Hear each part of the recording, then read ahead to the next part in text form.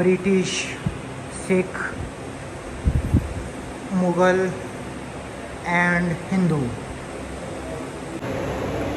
Hello everyone welcome back to my YouTube channel so आज मैं पहुँच चुका हूँ लाइलपुर म्यूज़ियम में और आपको मैं लाइलपुर म्यूज़ियम डिस्कवर करने वाला हूँ। और आप लोग घूमने जाते हैं दूसरे शहरों में दूसरे शहरों की म्यूज़ियम देखने, लेकिन आपको शायद पता नहीं होगा फैसलाबाद का म्यूज़ियम कितना ही ज़बरदस्त म्यूज़ियम है और आपने शायद अभी तक फैसलाबाद का म्यूज़ियम नहीं देखा। सो मैं आपको दिखाने के लिए पहुँच चुका हूँ। सो मेरी वीडियो को आपने शुरू से लेकर एंड एंड तक देखना और मेरे चैनल को सब्सक्राइब करना। है सो बहुत ही इंटरेस्टिंग वीडियो होने वाली है। लेट स्टार्ट सो चलते हैं लालपुर म्यूज़ियम के अंदर। ये देखें क्या खूबसूरत म्यूज़ियम है और इसकी आपको मैं, ये देखें कितनी ज़बरदस्त एंट्रेंस है इसकी। बहुत ही ज़बरदस्त म्यूज़ियम बनाया गया जो शायद ही फैसलाबाद में किसी ने देखा और इसकी मैं आपको हिस्ट्री सबसे पहले बताता हूँ कब बनाया गया है। ये लालपुर म्यूज़ियम 2010 में बनाया गया था और 2013 में मुकम्मल हो गया और इसमें सांदर बार के मुख्तलिफ़ इलाकों की तारीख और सकाफ़त महफूज की गई है।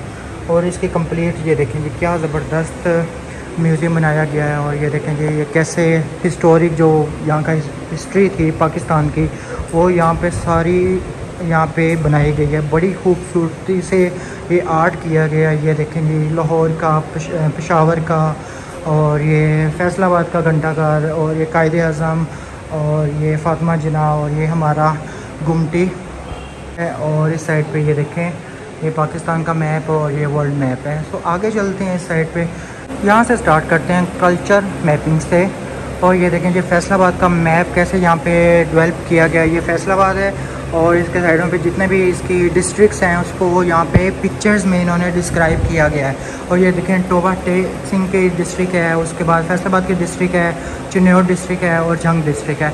उसके बाद जो इसकी रॉक केविंग आर्ट है, वो इसको यहाँ पे यहाँ पे डिस्प्ले किया गया है। बहुत ही ज़बरदस्त तरीके के साथ यहाँ पे ये देखें, ये पहाड़ों से खुदाई करके ये चीज़ें लाई गई हैं। और उसके बाद ये देखें इंडस जो इंडस वैली जिसको कहते हैं इंडस सिविलाइजेशन जो था, उसकी ये देखें कुछ पत्थर वगैरह हैं और ये चर्ट शर्ट हैं फैंसी मोती हैं और मूर्तियाँ जो देखें, ये ओल्ड मूर्तियाँ और ये देखें, लूडो के दाने और ये जेवरात है, ये किस तरह की हिस्टोरिक चीज़ें, बहुत ही ज़बरदस्त फैसलाबाद में हिस्टोरिक चीज़ें यहाँ पे पड़ी हैं। ये देखें मैं आपको एक एक चीज़ दिखाने वाला हूँ और मेरी वीडियो को आपने शुरू से लेकर एंड तक देखना और मेरे चैनल को सब्सक्राइब ज़रूर करना और ये देखें गंदारा आर्ट गंदारा आर्ट देखें बुद्धिस्ट ऑफ़ गंदारा आर्ट उसकी बुद्ध का सर, ये देखें, ये बुद्ध का सर भी यहाँ पर पड़ा हुआ है।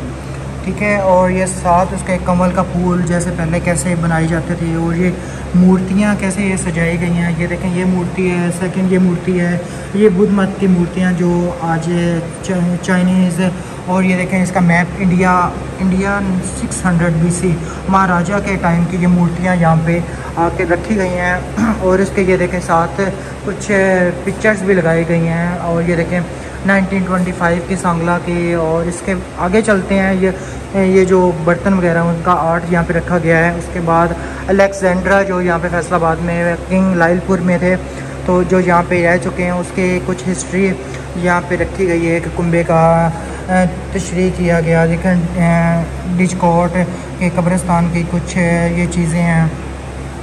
और ये देखें, ये अगर मैं आपको बताता रहूँगा तो बहुत ही ज़्यादा वीडियो लंबी हो जानी है और जेल में वाकई मूर्ति साइड, ये देखें, ये मूर्ति के कुछ पार्ट्स यहाँ पे ला के रखे गए हैं। ये देखें, बहुत ही ज़बरदस्त ये देखें जो महाराजा थे। महाराजा पोर्स सिकंदर आज़म की खुली अदालत की ये पिक्चर है। और इससे आगे ये लेट बुद्धिश बुद्धिश की ये देखें मिट्टी से बने जान इंसानी मुजस्मे हैं, ये देखें, बहुत ही ज़बरदस्त मुजस्मे हैं, मिट्टी से बने जानवर हैं। ये पहले इनकी पूजा की जाती थी बहुत ज़्यादा, और ये शॉर्ट कोट के, ये जितने भी ये हिस्टोरिक चीज़ें यहाँ पे ला के रखी गई हैं, लालपुर म्यूज़ियम में, जो अभी तक फैसलाबाद के लोगों को शायद ही पता हो। और ये देखें, हिंदू हिंदू के कुछ चीज़ें जो फैसलाबाद में यहाँ पे मिट्टी के बर्तन थे और शहर से बने जेवरात थे और मिट्टी के ये बर्तन थे। ये हिंदुओं के जो हिस्टोरिक चीज़ें हैं, ये देखें सारे कदीमा शाह कोट के ये देखें इलाके में जो हिंदू, इब्तदाई हिंदू एक मजहबी रहनमा यहाँ पे उनका पिक्चर लगाई गई है। और इससे आगे हिंदू हिंदू अर्ली मुस्लिम, ये देखें जो Hindu Shahi Shahi and early Muslim, जो उनके हाथ से बने मिट्टी के परात मिट्टी के हाथ से चलने वाली चक्की और अभी तो बहुत एडवांस दौर हो गया है, जो अभी तो ये देखें डिस्कॉर्ड कब्रस्तान से मिली कुछ चीज़ें मिट्टी से बना आला ये काफ़ी ज़्यादा हिस्टोरिक चीज़ें हैं और हिंदू हिंदू के ये देखें जो हिस्टोरिक एक और हिंदू सल्तनत के पीरियड्स के ये जो लॉकेट्स वगैरह थे, पहले कैसे लोग ये बना बना के अपने महारानियों को, राजा महाराजा, ये लोग पहनते करते थे, मिट्टी से बने लॉकेट्स वगैरह हैं, इसके आगे कॉइन्स ये हिस्टोरिक कॉइन्स हैं। ये देखें, ये कितने पुराने हिस्टोरिक कॉइन्स हैं और ये देखें, इसके साथ साथ इनका डेट भी लिखी गई है 200 hundred B C E B C thirteen sixteen और ये बहुत ही ज़्यादा हिस्टोरिक कॉइन्स हैं बरतानवी दौर के सिक्के, पाकिस्तानी सिक्के, और ये देखें मुग़ल दौर के शाही सिक्के, और ये हिंदुस्तान के सिक्के हैं। इससे आगे ये एक हज़रत सुल्तान बाबू का मज़ार का मॉडल यहाँ पे रखा गया है। ये देखें, बहुत ही ज़बरदस्त ये भी रखा, बनाया गया और ये ग्रेट ब्लू ग्रेट ब्लू की हिस्ट्री मुझे नहीं पता, लेकिन ये भी चीनी का बर्तन है रोगनी टाइल्स हैं और जंग में वाक़ शाह सादिक का मज़ार है और ये ग्रेट ब्लू शायद जो ब्लू मुग़लों ने अपनी यादगार इमारतों की सजावट में जो बहुत अच्छा पत्थर यूज़ होता था, उसको ग्रेट ब्लू कहा जाता था। इससे आगे ये मुगल्स मुगल्स का आ गया है, मुग़ल का स्टार्ट हो गया है। ये मुग़ल जिसमें कावा कावा गर्म रखने के लिए बर्तन था, ये मुग़ल, मुग़लों की प्याली थी कांसी का बर्तन था सुरमादानी थी और अतर की शीशियाँ, हाथ धोने वाले मुग़लों के बर्तन। और लेट मुग़ल मेटल वेयर ये देखें ये मुग़लों के एक और बर्तन है जिसमें वो खाते पीते थे, मीनाकारी से। और धात की प्लेटें और एक धाती बर्तन, उसके आगे जी खाने के दौरान इस्तेमाल होने वाले धाती बर्तन। और इसके बाद आगे फिर एक मुग़लों की ये बुक्स हैं, कुरान पाक के जो मुग़ल, मुग़लों के यूज़ में जो कुरान पाक थे, ये वो हैं, कुरान पाक का कलमी नुस्खा, कुरान पाक के कलमी नुस्खा और ये ये देखें ये जो उनके हिस्टोरिक चीज़ें थी ना, वो यहाँ पे रखी गई हैं मुग़लों की। इसके बाद ये देखें, आगे मुग़लों के इस्तेमाल में ये जो तीर कमान यूज़ होते हैं, ये देखें, आपने कभी तीर कमान देखे नहीं होंगे, आज मैं आपको दिखा रहा हूँ, बहुत ही ज़बरदस्त है। ये इनके तीर कमान थे और उनके ये जो बादशाह थे मुग़लों के, ये देखें, उनके मज़ार, मस्जिद मिर्ज़ा ये उनकी मस्जिद मिर्ज़ा और ये इनके बुक्स, बुक थी और ये तीर कमान थे। तो इससे आगे चलते हैं, आगे सिख सिख सिक्का आ जाता है। ये देखें, सिख की कुछ चीज़ें हैं। ये ननकाना साहब फैसलाबाद में की डिस्ट्रिक्ट है और ये देखें उनकी कुछ ये क्या चीज़ है? ये शायद ही कोई तलवार है जिससे कोई काटते हो।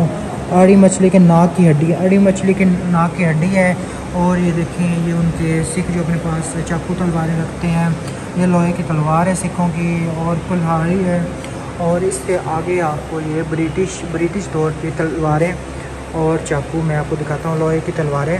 और ये ब्रिटिश की तलवारें थे, बहुत ही बड़ी और बहुत ही ज़बरदस्त तलवारें थी। तेज़ तार और ये अफ़गानी खंजर थे। ये देखें आपने, अफ़गानी खंजर भी आपने देखा है। और ये देखें इधर, आपको ये मिल जाएगा ये भी एक तलवार है,